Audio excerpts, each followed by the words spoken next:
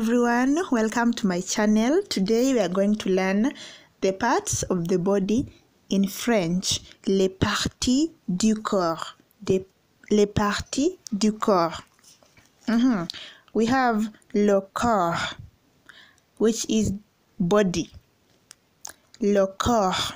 Repeat after me. Répétez après moi. La peau.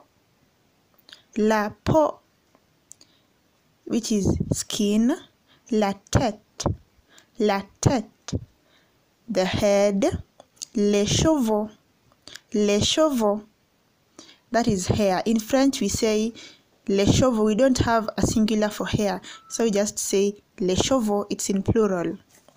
We have le visage, le visage, that is face, le front, le front the forehead, la joue, la joue, cheek, that is the cheek, le sourcil, le sourcil, eyebrows.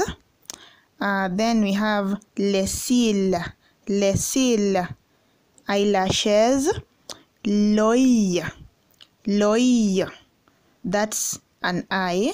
Then in plural, it's les yeux les yeux. Notice the spelling of an eye, l'œil, l'œil.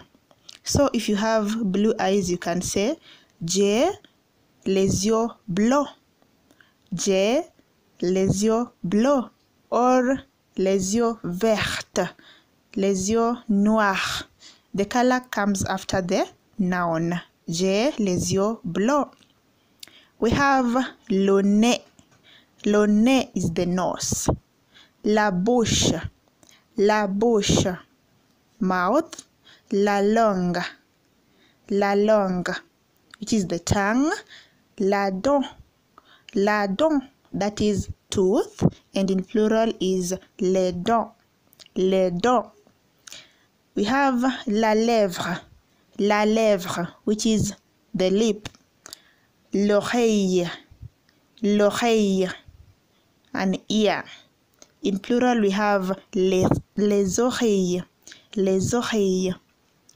Then we have le menton, le menton, which is the chin. Uh, that is the parts of the body in French. The first part, I talked about the face. Uh, that is part one of les parties du corps. I hope you learned something. I want you to practice and leave a comment.